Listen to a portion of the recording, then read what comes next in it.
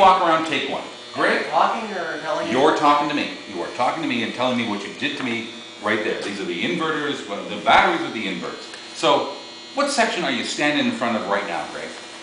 I'm standing on the side of my electric car that we built lately, and the car has heavy, heavy tubing and I-beam frame.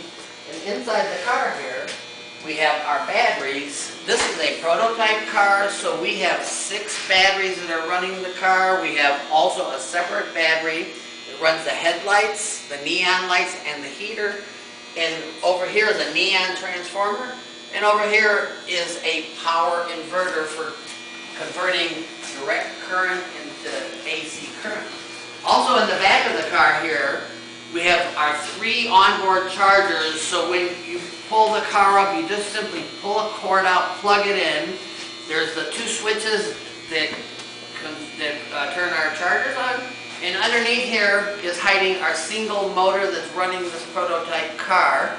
Also, it's a very heavy I-beam car. It is made out of 12-inch I-beam with 4-inch tops on it. Stop right there. Well, I, that was great.